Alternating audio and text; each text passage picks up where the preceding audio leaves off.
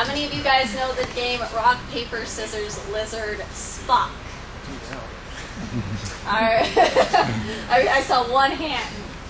Rock, paper, scissors is pretty simple. Scissors cuts paper, paper covers rock, rock crushes scissors. We're going to add two other aspects.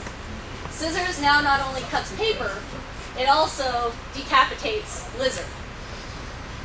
Paper not only covers rock, it also disproves the existence of the character Spock.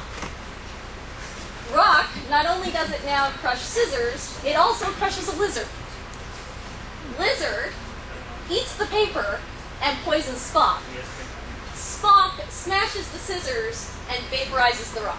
As we play rock, paper, scissors, lizard, Spock with the hmm. robotic hand. The program is the brainchild of this lovely man right here. His name is Mark Dralos.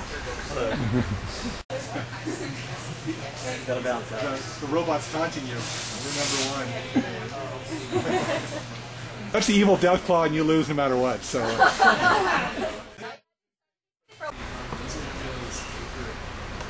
So scissors decapitate lizard. That's one for the robot. if you want to.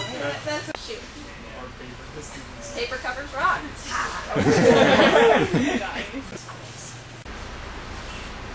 hey, scissors cut paper. That was good. You gotta read. Three.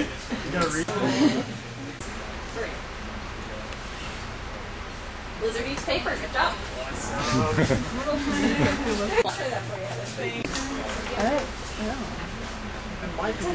Lizard poison Spock. One for the robot. It's okay, Tim.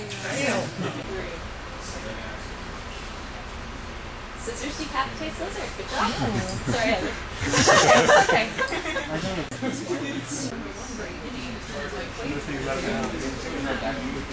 Rock crushes lizard. Good job. So lizard dies by rock and scissors.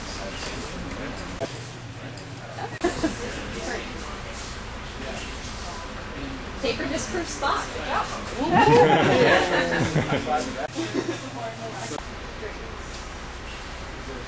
Lizard eats paper. You-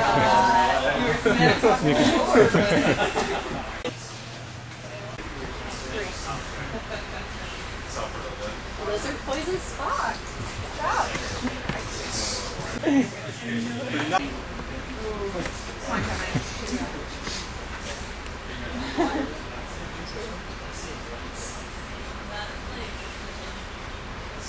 Lizard decapitates lizard. That's another for the robot, guys.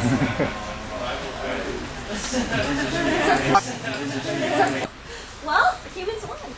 hey, well, good to know. They're sold for humanity video. We haven't seen them yet. We can avoid the Matrix scenario. yeah. We're number two. There we go.